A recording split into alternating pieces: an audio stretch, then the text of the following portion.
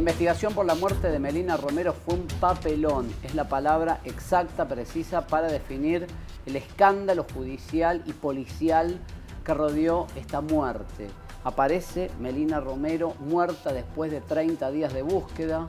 Los peritos ni siquiera se ponen de acuerdo en la mecánica del crimen.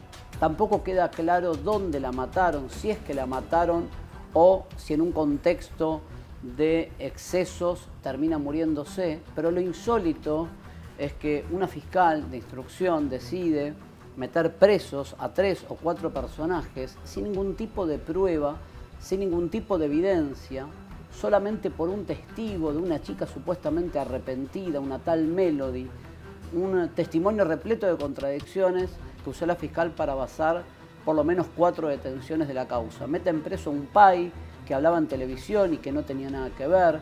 Meten preso a un pibito de 14 años a quien se indican como que estuvo con la víctima, pero no había ninguna prueba de contundencia. No lo digo yo, lo dijo la Cámara Penal de San Martín diciéndole a la fiscal investigue, no haga especulaciones, el derecho no es especulativo. Yo tengo la necesidad de encontrar el cadáver de mi hija. En la tele encontraron un cuerpo en el SEAMSE. Ya me di cuenta que era ella. Estoy sentado yo en el vaquillo de los acusados, pero me quedo con total tranquilidad que sé que todo esto va a pasar. Que asesinaron a mi hija quiero saber, llegar hasta el fondo de todo esto. Los culpables salen con la pena máxima, como corresponde.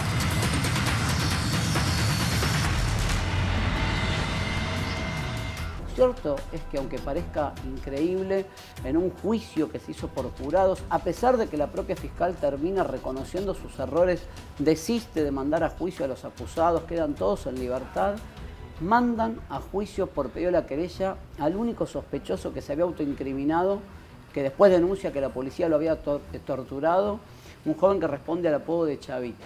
Lo mandan a juicio y el jurado popular lo termina condenando a 13 años de prisión.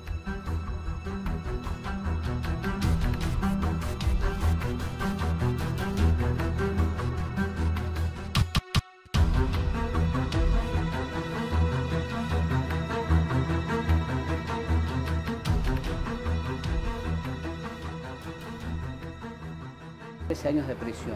Un caso escandaloso. Si ustedes hoy tienen que definir dónde mataron a Melina Romero, no se sabe. ¿Quién la mató a Melina Romero? No se sabe. Un jurado popular habla de un solo sospechoso. Se pasó de 5 a 1.